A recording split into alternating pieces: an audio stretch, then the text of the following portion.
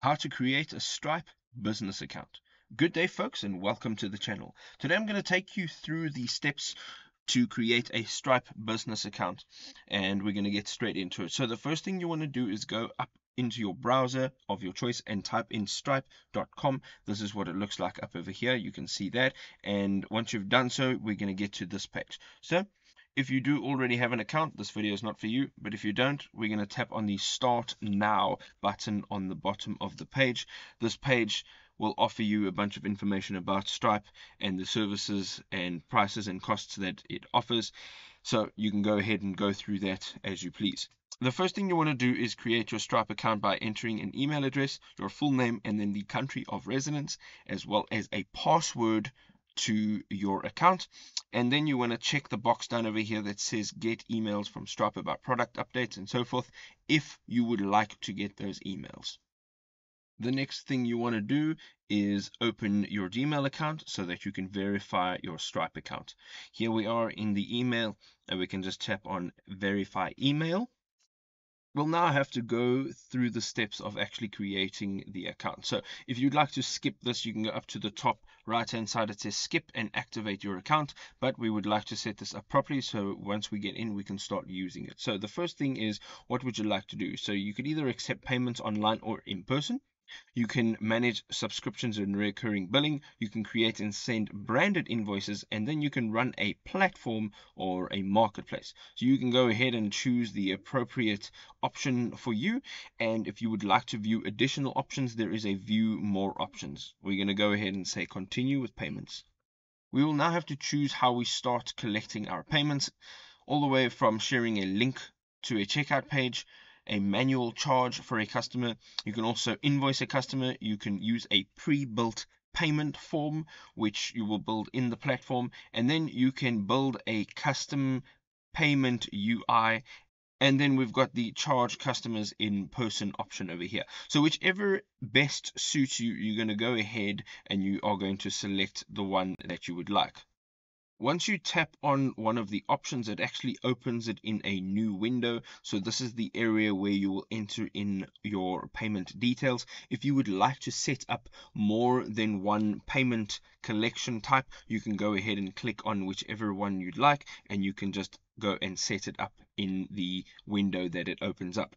Right now, we're going to go ahead and we're going to set up this first option, which is share a link to a checkout page. We're going to go in here. So on the left hand side over here, it says select type. So it's either product or subscription. So product or subscription will be best for e-commerce or software as a service and then the customer choose what to pay and then this is best for tipping donations or a pay what you want option we're going to go ahead and we're going to say product and subscriptions and right over here we have the payment page. So the product over here it says you will have to find or add a test product. So we can just go ahead and say add new product. And over here you will have to add a test product so that we can build your payment method and we can test if it actually works. So from a name description price and an image which is optional then we can tap on add product you can now see that there are a few options. You can either collect customers' addresses, you can require your customers to provide a phone number, you can then also limit the number of payments per customer. We also have some advanced options. You can add some custom fields over here. So if you open that, you can see that on the right hand side, this window as your preview will allow you to add custom fields and on the left hand side over here you can see that there is a text numbers only and a drop down menu. You can now enter that label name. You can set limits and you can mark it as optional. We're going to leave that out for now. You can also allow promotional codes. You can allow business customers to provide tax IDs and then you can save payment details for future use which is fantastic. We can also change what the call to action button looks like so it can either be pay book donate and once you have put all of this detail in over here on the right hand side you can tap on create link so this is now your homepage or your dashboard and you can see that your test product is over here. You can actually copy this link to your clipboard and then you can actually receive payment for this product. Over here, you can see that there is a breakdown of the actual product, and your homepage basically just gives you an overview of your account. On the left hand side, you can see that there are a few different tabs, such as payments, balances, customers, billing, and there's a few more options. Now, what we want to do here is at the top it says test mode and it says currently viewing test data. You will now need to activate your account to go live. So on the right hand side we have the activate account button and we're going to tap on that.